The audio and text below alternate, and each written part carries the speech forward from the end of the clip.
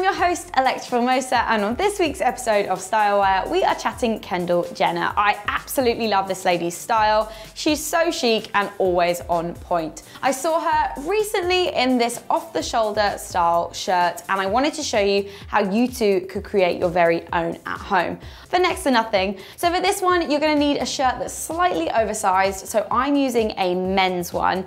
You could steal your boyfriend's or your dad's for this, but be sure to ask first. So let's stop talking and get into it.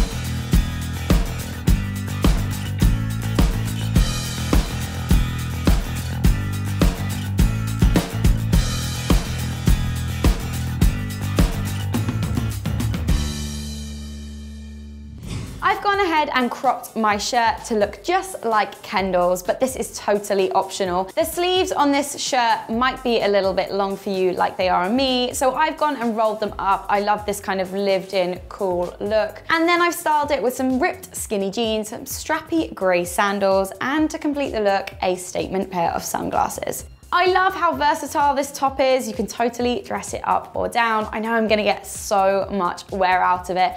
And if you liked this top, then definitely check out my other video on how I created a Bardot off the shoulder top out of a plain white tee. Don't forget to leave me a comment down below. Let me know who else you would like to see here on the show.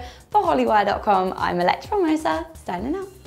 To see that Bardot top I mentioned, click the box on the left, and to see another episode of Stylewire, click the box on the right, and don't forget to hit subscribe.